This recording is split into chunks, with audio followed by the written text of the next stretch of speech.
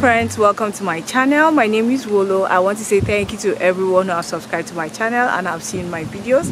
My channel is about sharing information on life in Canada and everything useful.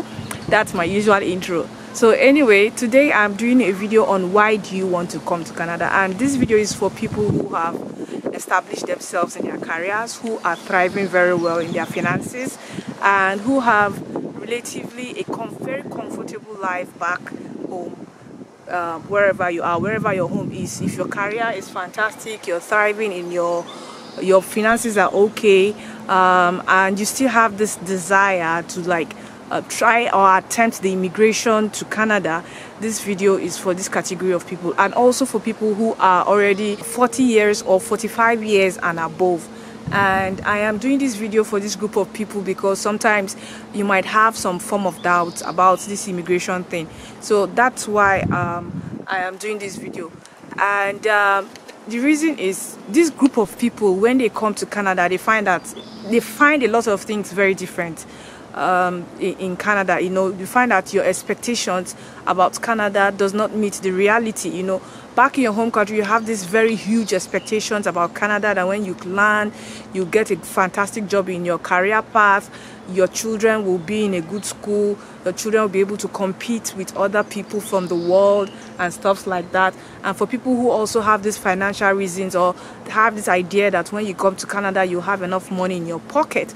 Um, this video is for you to know the reality of things on ground. It's not a walk in the park. For some people yes they can get it especially if they are very strategic in their move. But for some group of people um, they fall into the category of people who regret moving to Canada.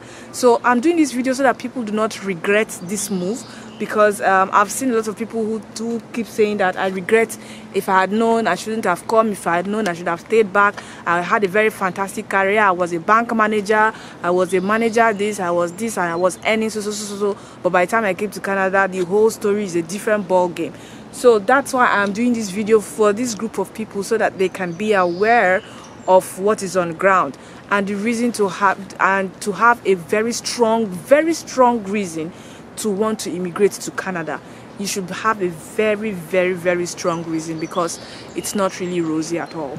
Canada gives people an impression of paradise. Uh, for people who are struggling back home, yes, you can come to Canada. For people who are really struggling, very are struggling, you can come. But for people who are relatively comfortable and you you kind of you're dilly-dallying with the thought of immigrating, you should have a very strong reason, especially if you've gotten to the peak of a career, if you're comfortable financially, if you don't um, see the things that is happening around you as a distraction, like insecurity, the kidnapping, if you don't see it as a distraction to you, and maybe the lack of good medical infrastructure, and if you know that you have the finances to sustain yourself, if you fall ill, if you have any terminal illness, you can really take care of yourself then you don't really need to come stress yourself. But if you don't fall into this category of people, um, if you're struggling, you can come. But for this category of people who are comfortable on every level,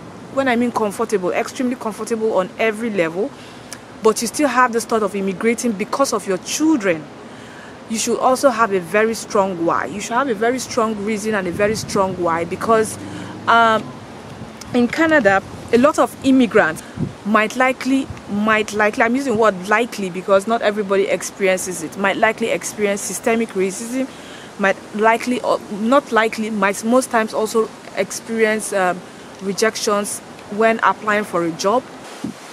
We face stiff competition in the workplace and we also experience what you call microaggression. There are a lot of things most immigrants will face and it is your strong reason that will make you persevere. It's your strong reason that will make you not regret your move. It's your strong reason, the why, the reason why you decided to up yourself and leave from your home country. If you decided that you're leaving from your home country because you wanted to give your children a better life in Canada, you hold on to that so that that will keep you going and then you keep pushing ahead.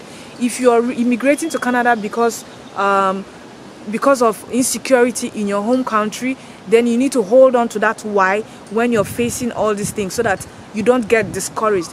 If you are immigrating because you feel Canada is going to give you an opportunity to succeed, to thrive, to um, be in your career and to excel, then you need to hold on to that.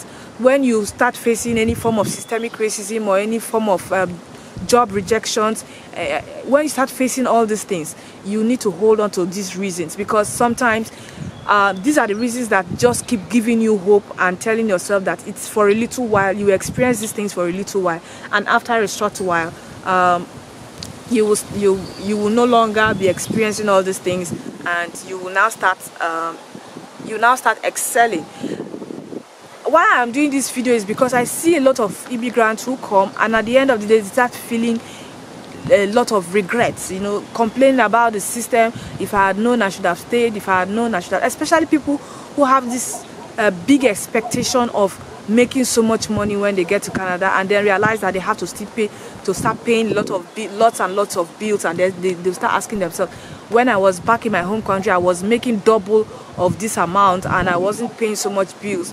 But now I'm in Canada I am paying so much bills and I don't have any money in my pocket.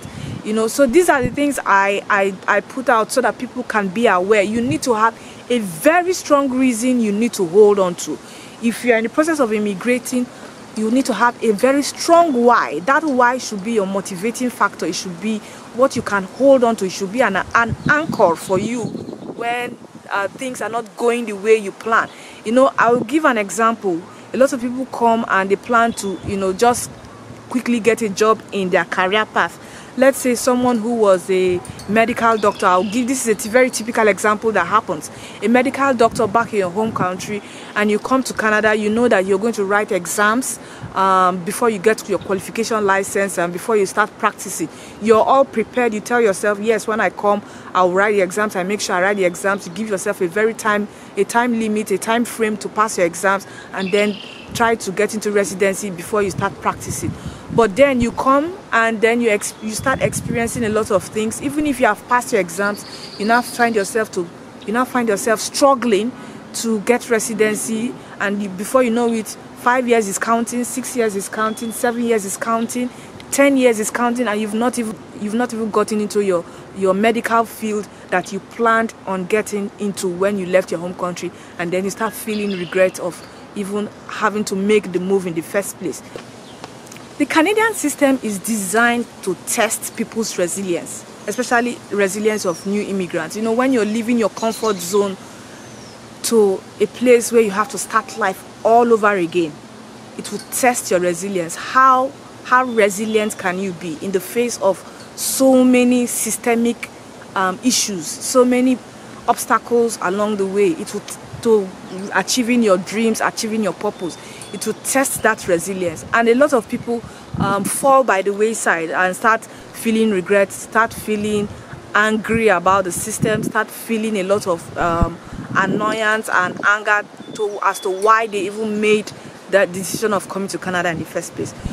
When you're facing such situations, you need to ask yourself, uh, you need to hold on to your why. It's your why that will make you keep pushing. It's your why that will make you look at the very big picture.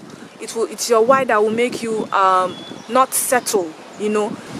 Another example is people coming and picking up just any job, and it's quite risky picking up just any job because you might get stuck in it and I see a lot of people who get stuck in that any job. At the end of the day, the experience you're getting from that any job cannot be translated to where you want to go to and then you now start going back to school and then you even when you get your degree and you get out of school you're still faced with the issue of applying for jobs and getting a job in the line that you studied.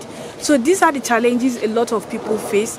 And that's why i said people should have any plan anybody planning to come to canada should have a strong reason a strong why a strong statement of purpose that you will hold on to and a vision that you that is unwavering a vision that is unwavering so that when you face these challenges you will not regret. You will not think of your where you're coming from. You will not think of how you used to be a big man you know. A lot of people were we a lot of people were managers. A lot of people were top flyers holding uh, managerial positions in their home country before immigrating. And then they come to canada they find themselves working with people who are just high school diplomas people who, who don't even have a university degree or a college certificate you know and then you you you you are working if if you're about above 40 or 50 years and above you find somebody who is 20 years who is your manager and asking you to do one or two things and then you start um, asking yourself if i had known when I was back in my home country, I was controlling a department and 20 or 30 people were under me. Now I'm in Canada. One 20 years old person who just has a high school diploma is even the one controlling me. So these are the things you need to um, you know start preparing your mindset. It's a whole preparation altogether. You need to prepare your mindset very well before you even make the move and have backup plans. The backup plans is backup plan in your career. You should have a backup plan in your career that in the event that you don't end up in the career path that you desire are there other career paths that you can end up in and you will still be happy and satisfied? Or you will start feeling remorseful and feeling regret. If you don't have backup plans, you will feel regret and you will start asking yourself, why did you immigrate in the first place? But if you have backup plans, you will not feel any regret at all. So these are the reasons why I am doing this video and I hope you've learned something beneficial. Thank you so much for watching and have a good day. Bye-bye.